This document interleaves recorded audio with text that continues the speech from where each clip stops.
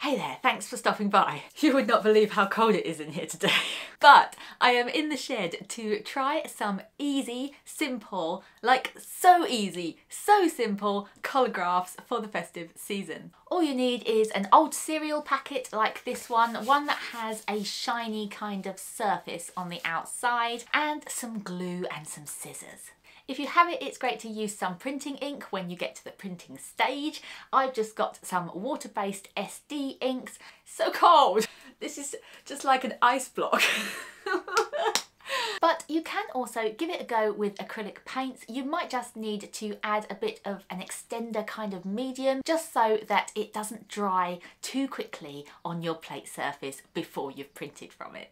Oh, and you'll need some paper to print on. I'm just going to be using plain printer paper for mine. Grab your cereal box and let's try it. First, I want to make a background base plate for my design. I can cut along one of the folds of the box to open it up and then cut along the next fold over to separate out a nice large piece. Trim away the rough flappy edges and I have a neat rectangle to use as my base. I'm going to be creating a design of three hanging baubles, so I've grabbed three different sized items which I can draw around to get nice neat circles. You could use a compass if you like, or of course go freehand. I cut out the circles with scissors and I'm starting to position the circles roughly on the plate to get an idea of where they'll sit in my design. As you do this, remember that your final print will be a reversed image of your plate.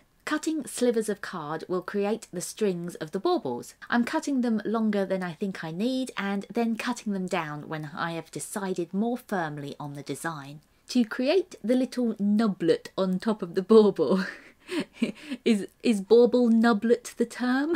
you know, it's the it's the bit which allows the bauble to be strung. I'm cutting a small rectangle or a square for the smaller bauble and then snipping off the top two corners. The shape can then be placed between the bauble and the string. For the larger bauble, to make the two shapes fit more seamlessly together, I'm using the edge of the circle as a guide and cutting a curve into the bottom of the rectangle. Now is a good time to flip the plate. Here is the important thing to remember. Anything we stick down onto the plate needs to be shiny side up.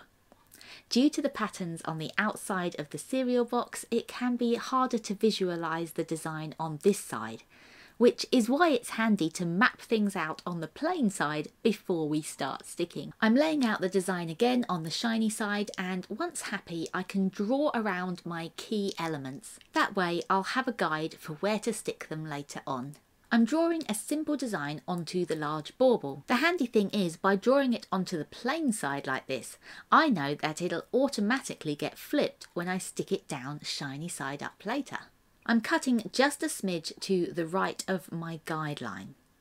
Then I'm cutting a smidge to the left of the line. I'm doing this with each of the lines I've drawn and then placing the pieces back together with a small gap in between them. The gaps will create the design in the print later on. Using PVA glue, I'm flipping the pieces on the bauble over and sticking them down one by one, lining them back up together on the backboard. Then I'm sticking down the bauble nublet and the string. I do this same process for the other two baubles, but with different cut designs for each of them. For one bauble, I'm adding on a few sequins. You can absolutely add on extras like this, but if you do, make sure that they are things with a shiny surface. I'm also adding some tin foil to break up the background a bit. This will add a variation into the print textures that we can get later. If I had thought of this at the start, I would have stuck this foil down in one piece as the very first thing and then stuck everything else on top of it. but as I am adding it later, I'm cutting out rough pieces to fit around my baubles. Before sticking them down, I'm scrunching them lightly to create a little bit more texture. You can go as detailed as you like with the plate, but I'm keeping this design simple.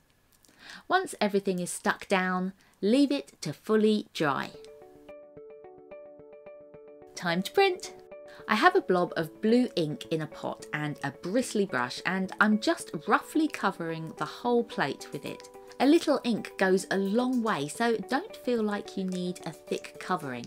I have a loose weave cloth and I'm using it to lightly pull away a bit of the ink in the background areas, using circular motions to create more interesting textures and break up the brushstroke marks. On the upper foil section, I'm using more of a dabbing motion to create a lighter covering. Then I'm going back in to make sure that there is ink on the strings, just in case I removed a bit too much by accident with the cloth. I'm using a little bit of white ink to add lighter tones to the bauble edges and dabbing the brush about to break up the brush strokes. Then it's time for the first print. Placing the piece of paper straight down onto the plate, I'm using my hands to apply even texture, feeling around the plate to push the paper into the textures. Then I'm using my thumb to localise the pressure to the edges of each bauble and the ridges of the patterns on each, as well as the strings. With other more textured forms of collagraph, I use thin papers which are dampened down so that they can bend into deeper crevices without tearing. However, because this cardboard is so thin and the design is so flat, we can get away with using standard paper which is fully dry. The whole reason we have used the shiny surface of the cardboard and shiny things stuck onto it is so that the ink will be able to transfer away from that surface and onto the paper. Okay, let's see what we have. Oh, I like it! I love how boldly the bauble designs have come out, and I'm really enjoying the background textures.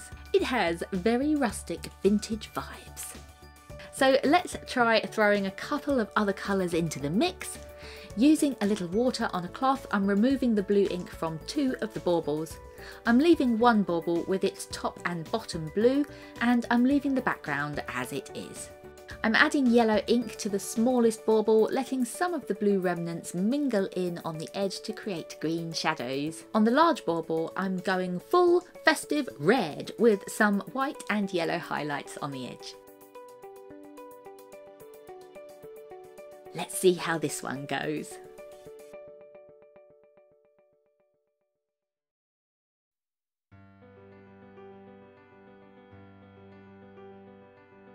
Ooh, yes, pretty jolly, no? I like the primary colours bouncing around together, and I quite like that I didn't add anything more to the background on this one. It has a super subtle texture back there, but I like it.